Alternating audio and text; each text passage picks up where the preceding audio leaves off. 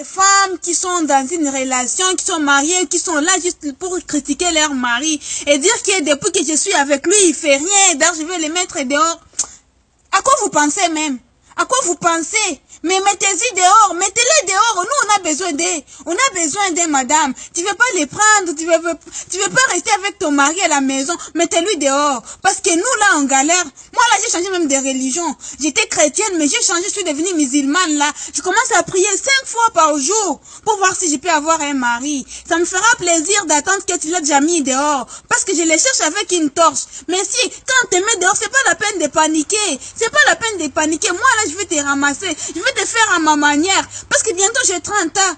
Je vais avoir 30 ans bientôt. Et j'ai pas trouvé un homme de... Même mes amis, il y a celle qui a 40 ans pour le moment. Mais elle me dit, qu'est-ce qu'on va faire? J'ai dit, attendez, il y a des femmes qui manigassent leur mari. Ils trouvent qu'elle fait rien. Maman, j'ai besoin de ça. Moi, j'ai besoin de lui. Toi, tu trouves qu'il n'a pas de valeur. Moi, je le cherche. Je les cherche matin, midi, soir, je ne l'ai pas trouvé. Hey, qu'est-ce qui vous arrive par la tête? À quoi vous vous croyez? Vous vous croyez où? Vous croyez que quand toi t'es marié, tu les mets dehors, oh, il fait rien, mes enfants, il fait plus rien. Tu crois qu'il n'y a pas de personne qui a besoin de lui? Moi, j'ai besoin de lui. Moi, j'ai besoin de lui. Je vais les faire ce qu'on qu'on appelle dans la Bible, femme, soyez soumise. Moi, je serai soumise.